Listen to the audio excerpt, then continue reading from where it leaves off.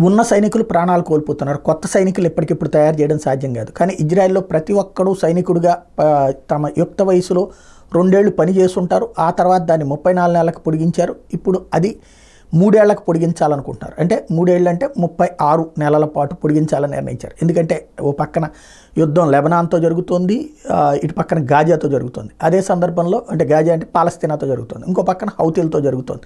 ఇంకో పక్కన సిరియాతో జరుగుతుంది. ఇంకో పక్కన ఇరాక్లో ఉన్నటువంటి ఉగ్రవాద సంస్థలు జరుగుతుంది. ఐదు దేశాలతో ఒకేసారి యుద్ధం చేస్తున్నటువంటి దశలో తగ్గిపోతున్నటువంటి ప్రజలని ఏదైతే సైన్యానికి సంబంధించినటువంటి దాన్ని సెటరేట్ చేసుకోవాలంటే దానికి తోడు ఇప్పటికిప్పుడు కొత్తగా సైన్యం వాళ్ళందరికీ ఇవ్వడం అంటే కష్టం కాబట్టి ఆల్రెడీ ట్రైండ్ అయినటువంటి వాళ్ళు ఉన్నారు కాబట్టి వాళ్ళని ఇప్పటిదాకా ఉన్నటువంటి ముప్పై నాలుగు నెలల ఉత్తర్వులు ముప్పై ఆరు నెలలకు పెంచుతా నిర్ణయం తీసుకుంది.